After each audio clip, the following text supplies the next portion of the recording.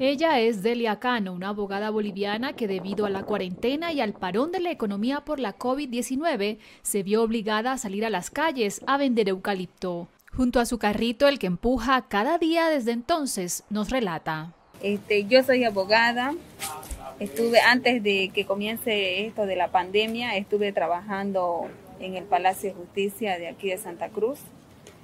En enero se cumplió mi contrato y entonces opté por abrir mi oficina. Estuve unos dos meses atendiendo mi oficina y ya se dio la pandemia, entramos en cuarentena y ya no pude ir más a la oficina.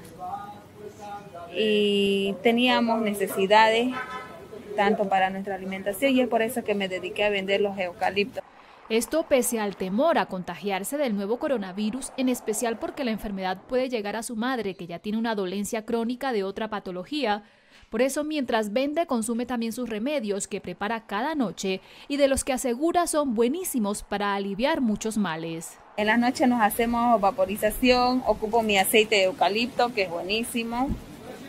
Este, las vaporizaciones y los mates. Voy tomando mate de, eh, de huira huira, de eucalipto para no resfriarse y nuestras defensas estén bien. Con las plantas en la mano llama la atención de los pocos autos que circulan o las ofrece a alguno de los escasos comercios abiertos en esta ciudad de algo más de un millón y medio de habitantes, la mayor de Bolivia.